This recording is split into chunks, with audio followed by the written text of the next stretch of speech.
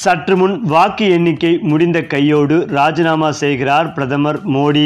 வெளியான முக்கிய அறிவிப்பால் அதிர்ச்சியில் பாஜகவினர்.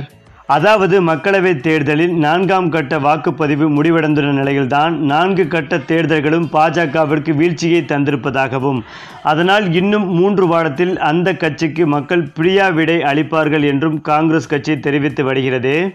அந்த வகையில் மக்களவைக்கான நான்காம் கட்ட தேர்தல் வாக்குப்பதிவு முடிந்துள்ளது. இத்துடன் நாடு முழுவதும் முன்னூற்றி எழுபத்தொம்போது தொகுதிகளில் தேர்தல் நிறைவடைந்து விட்டது. பலத்த போட்டி நிலவிய இந்த நான்கு கட்டத்திலும் மக்களின் இந்தியா கூட்டணிக்கு ஆதரவு வாக்களித்து இருப்பதாக காங்கிரஸ் கட்சி மகிழ்ச்சி தெரிவித்து வருகிறது. இது குறித்து காங்கிரஸ் கட்சியின் பொதுச் செயலாளர் ஜெய்ராம் ரமேஷ் தனது எக்ஸ்தல பக்கத்தில் தற்போது நான்கு கட்ட தேர்தல்கள் முடிவடைந்துள்ள நிலையில்தான் மோடியின் பிரியா விடை இன்னும் சரியாக மூன்று வாரங்களில் நடக்க உள்ளது.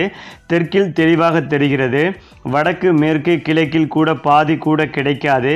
தென் மாநிலங்களில் பாஜக முற்றிலும் அளிக்கப்படும் மற்ற மாநிலங்களில் அதன் பலம் பாதியாக குறைக்கப்படும் என்று குறிப்பிட்டுள்ளார். அதே போல சமாஜ்வாதி கட்சியின் தலைவர் அகிலேஷ் யாதவ் பாஜகவிற்கு ஜீரோ ஜீரோ ஜான்ஸ் என தெரிவித்துள்ளார். அகிலேஷ் யாதவ் தனது எக்ஸ்தல பக்கத்தில் மக்களவைத் தேர்தல் நான்காம் கட்ட வாக்குப்பதிவுக்கு பிறகு நானூறு தொகுதிகளில் வெற்றி பெறுவோம் என்ற பாஜகவின் கூட்டிலிருந்து பொதுமக்கள் நான்கை காணாமல் ஆக்கியுள்ளனர்.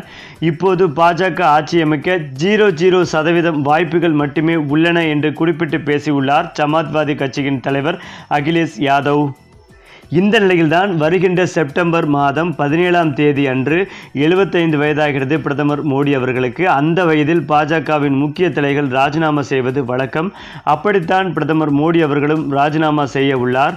இதனால் அடுத்த பிரதமர் யார் என்பது குறித்து ஆலோசனை செய்த பிறகு உறுதியாக பிரதமர் மோடி அவர்கள் ராஜினாமா செய்வார் என்றும் இந்த தகவல் பாஜக தொண்டர்களை அதிர்ச்சியடைய வைத்து வருகிறது. மேலும் வாக்கு எண்ணிக்கை முடிந்த பிறகு இது குறித்த அதிகாரப்பூர்வ தகவல்களை பாஜக தலைவர்கள் வெளியிடுவார்கள் என்றும் இதைத்தான் காங்கிரஸ் கட்சி தலைவர்கள் பிரதமர் மோடி அவர்கள் பிரியா விடை கொடுக்க உள்ளார் என்று விமர்சனம் செய்து வருகின்றனர்.